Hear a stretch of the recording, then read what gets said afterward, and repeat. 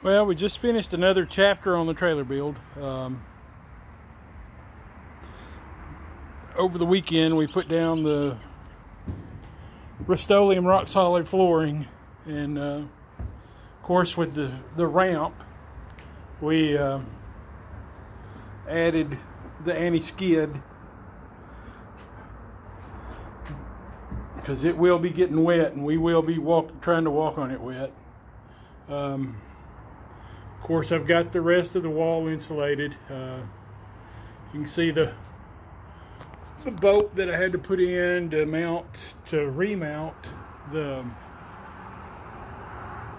that thing uh, for the antenna poles. Uh, the holdup on it was uh, the originally on both sides that was mounted to a bar that was just simply screwed to the outer skin. Um, and I, I actually took it off and welded it between the two frame members and uh, re-drilled the hole in it on both sides over here. You can kind of see the bottom of the bar on that one. Um, but that sturdied that up quite a bit. it's uh, we won't have the pole swaying so much. Um, but the, the floor, I, I think came out, I was happy with it. Um, it, it was the Rust-Oleum rock solid product. Um, I've used it in my garage floor and have been happy with it most of the other flooring that we looked at was um, gonna cost you know that was had any kind of durability was gonna cost anywhere between um, 250 to three dollars a square foot. Uh, I know this stuff is durable and uh, I know you know I like it.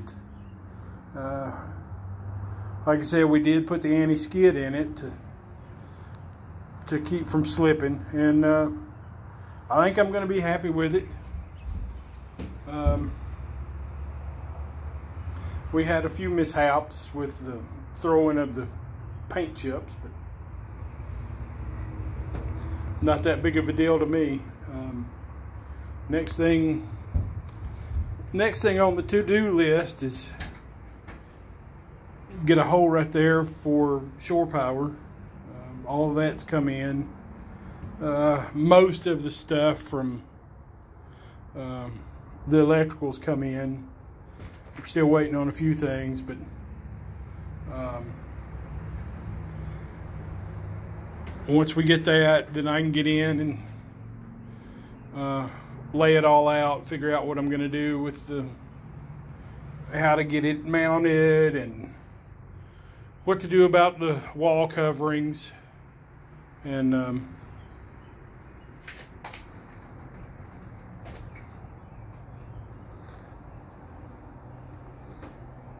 you know get wiring done and all that. I've, obviously I've got to get a lot of wiring done before I can cover up the walls and ceiling.